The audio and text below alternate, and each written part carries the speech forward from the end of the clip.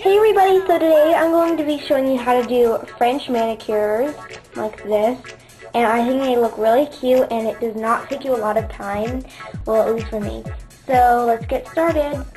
Okay, so the things you'll need are nail polish remover if you do mess up. You'll need, I have this container and it has those little cotton things in it if you do mess up. Tape I just have regular scotch tape. Or you can have like tape that's meant for your nails. And then I have my Sally Hansen Hard as Nails and it is called White Tip. I got this from the dollar store actually and it's regular like four colors so that was really good. And base is optional. It's just going to make your fingers look nice and shiny when you're finished. Okay, so first you're going to take a little piece of tape and I'm going to start off with my thumb and you're going to put the tape down on your finger and leave as much space as you want the white tip to be. And it really depends on how large your finger is, but this is about how much I'm going to do, if you can see that. I have really weird thumbs, just so you know. and then I'm going to take my nail polish, and it's pretty easy. Don't want too much on there, but you still want some polish on there. And you're just going to wipe it along your nail.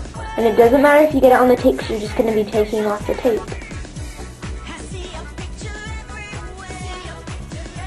So then it looks like, hold on, looks like that. And I know it looks really bad because I got uh, some white on the tape, but then when you take off the tape, you peel it from the back, and you got a French tip. I finished my nails and this is what they look like. I think they turn out really nice. And as I said before in the things you will need, I said you could use base. And bases, I think, normally to make your nails look smoother when you paint them. But I'm just going to use it to make my nails look shinier because that works really well for me. So, just going to unscrew it.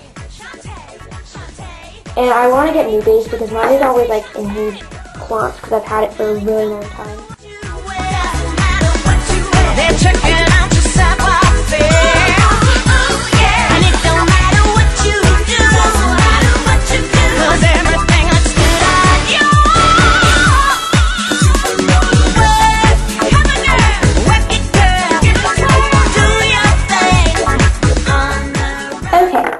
So here they are, and I think they turn out really nicely.